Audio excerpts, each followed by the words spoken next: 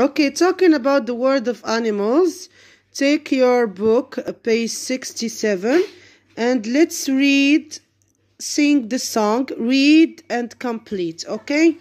Here you have words in the box, bigger, see, me, hiding, snake, smaller, can, then. And you have to put them in the right places.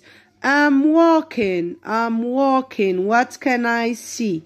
I can see a lion and it's then me. I'm swimming, I'm swimming, what can I see? I see a shark and it's uglier me.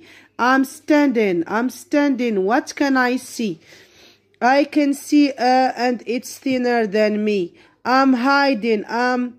what can I see? I can see a bat and it's than me.